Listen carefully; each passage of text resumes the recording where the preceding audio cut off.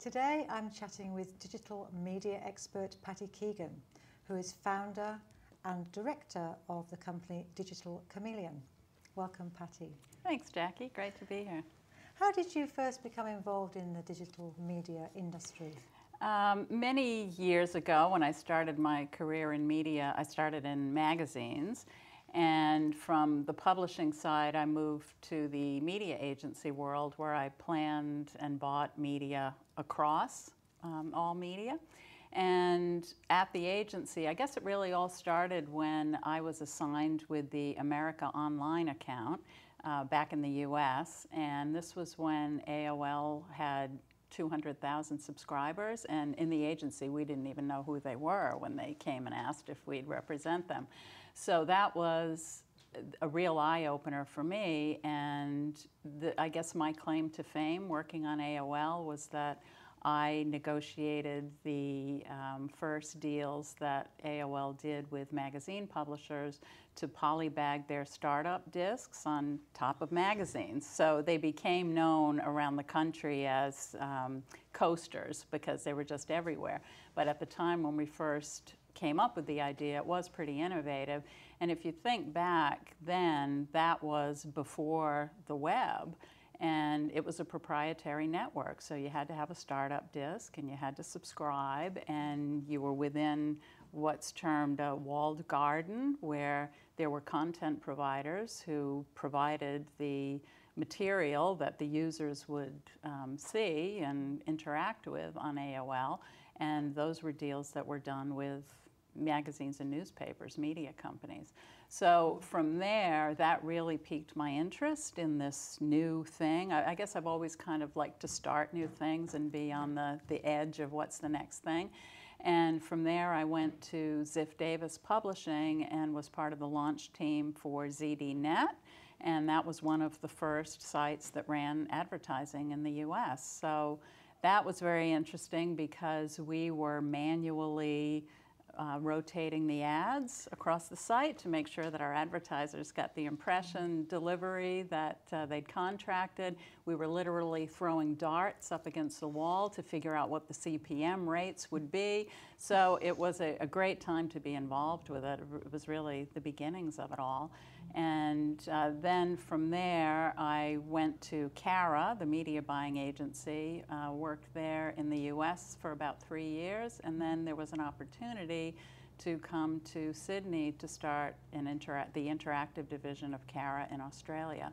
So I did that for four years, and when I left Carat, I was approached by the online publishers to help them start the IAB which is the peak industry body for online advertising here in Australia. So while I was doing that part-time, I started the business Digital Chameleon. How can marketers benefit from using online as, as a choice of medium? Well, I guess uh, some of the, the uh, capabilities and some of the um, advantages of the medium, one, it's measurable. So it's it's accountable and it's really important that if marketers are going to get involved with it, that they should have really specific goals and objectives around what they want to get out of it and then be sure that they're measuring those goals so that they, they can measure their return on investment. Uh, another thing, I guess, would be the fact that it is interactive. So it's a way that companies can connect with their consumers. People can order subscriptions or samples, uh, get information um, with some of the advertising um, technologies that are out there. You can capture data within ads. So there's a lot that can be done with this medium that just simply can't be done with other media right now. So it's important to think of online and digital media's unique capabilities and how it fits in and complements the media mix. Mm -hmm. What are the things that brands maybe need to be um, aware of or concerned about when considering looking at online as a marketing op option? Well, with one of the, the main things that people are talking about right now, there's such a buzz in the market about social media. And I think while marketers are very intrigued by that and they really want to participate in that, they're they're scared. It's a challenge because it, I like to say, you know, the clowns are running the circus now. The consumers have so much control over when, where, and how they consume media, what they're saying um, about brands, and I think that's really scary territory for brands. You know, and lots of times, you know, in training sessions, we'll hear, "Oh, but I don't want to get involved with Twitter because I'm afraid somebody might say something nasty about our company." Um, and I guess the response there is, well, they may be saying something nasty about your company anyway, so better that you are there in that environment and can enter into the conversation. So where do you think we are now in 2010? What, what, are we looking, where are we at now and what are we looking to in the future? Well, I think where we're at now is that digital media, online media is mainstream.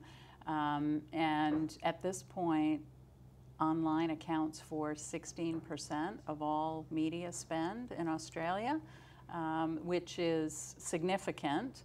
And at this point, we, Australian marketers are spending more online than they are in other media such as magazines, radio, cinema.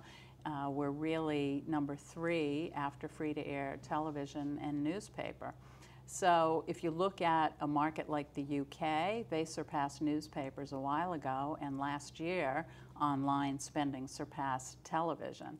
Now, granted, some of that was probably helped by the fact that TV had a, such a decline um, a lot of that due to the GFC, but it still is an amazing outcome that there's more money spent online in the UK now than there is on television. So uh, we'll see when we get to that point here, um, but it, it has made, um, it's, it's really withstood the GFC. Um, I think probably online and subscription TV fared the best, and we had a 17% year on year increase in online spend for the first quarter of this year. And we're probably slated to reach $2 billion in online spend in Australia this calendar year. So it's, it's definitely mainstream, and it's mainstream as well in terms of the amount of time that Australians are spending on it. Too. So it's not going to go away? No. no, it's not going away. This time it's real. The dot com boom was one thing. This time it's, it's stable and it's much more mature. Do you think everyone should go out and buy an iPad? Oh, I, I, don't know about that.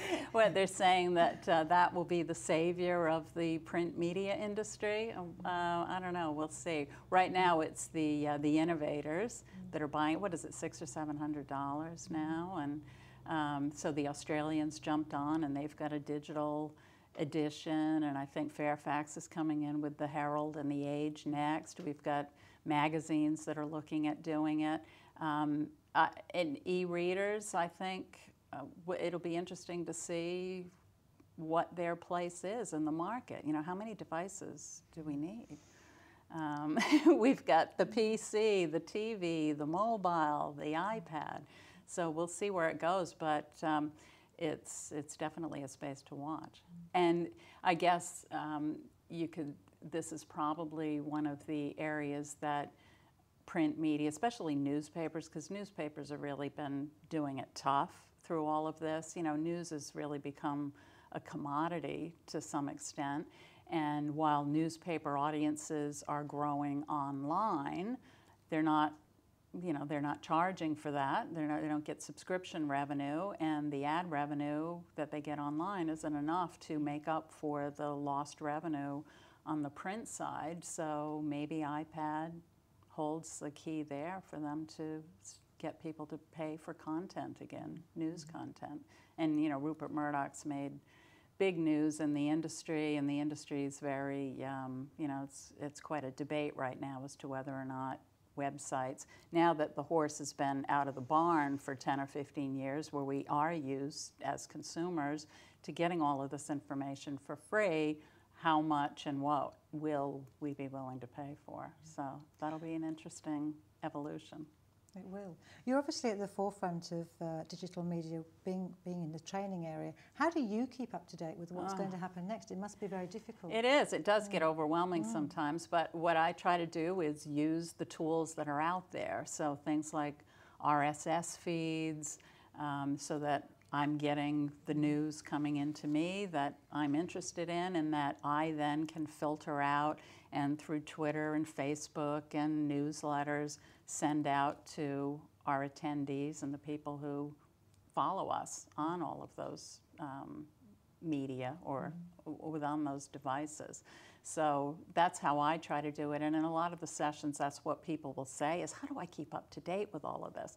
So we've got a monthly newsletter, but now we're looking also at having um, a, a news roundup that we'll send out on a more frequent basis just to give people a snapshot of the headlines. I'm finding it's almost like being in the monthly magazine business where you know I'm ready to write my newsletter and I know what I'm going to write about but then something just happened last week which changed everything so now I have to rethink my topic. So um, if we have something that is more um, frequent that will help people keep more up to date as well so Well, that's something I'll have to sign up for.